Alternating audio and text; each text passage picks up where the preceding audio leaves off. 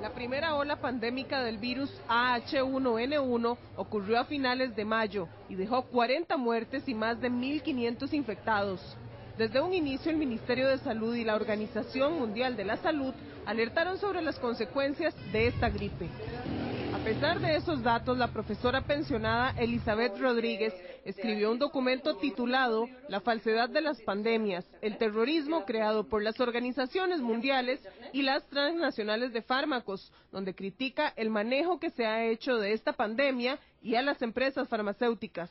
Primero, no atemorizarse, no dejarse que te llenen de terror.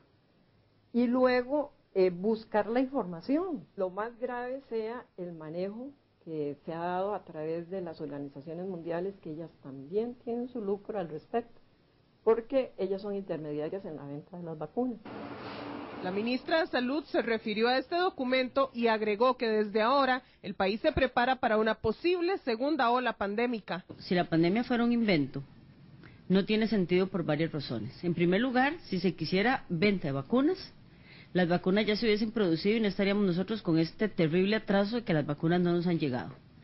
Número dos, las vacunas tampoco están protegidas por patente. Cualquier empresa de genéricos puede producirlas si tiene la tecnología.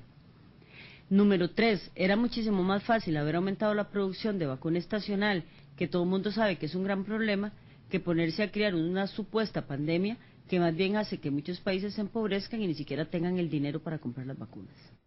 En el documento, la autora señala que se ha confundido al público, creando lo que ella llama un caos de desinformación. Esta posición es secundada por el médico Juan Miguel Goyenaga, experto en oftalmología. Hemos visto que es más letal la gripe estacional que esta gripe A1H1. Mata más gente. E, el resfriado común, digámoslo, que este, que este tipo de, de virus nuevo. Ahora, eso no quiere decir que no se hagan vacunas, por supuesto que se hagan vacunas, pero que no nos, que no nos lleven a la desesperación y al pánico para que todo el mundo salga corriendo eh, por la vacuna. La ministra explicó que todavía el país está en conversaciones para obtener la vacuna que protege de este virus.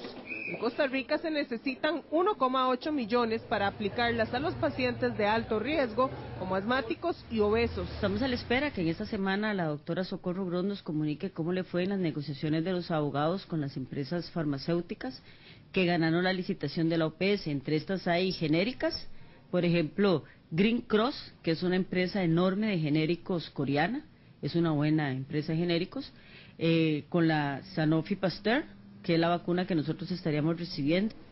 La Organización Mundial de la Salud informó que los casos de influenza en el mundo se redujeron, lo que podría ser una señal de que la segunda ola de la pandemia no será tan fuerte como se previó. Dicen que la tercera es la vencida para Otón Solís, quien fue invitado a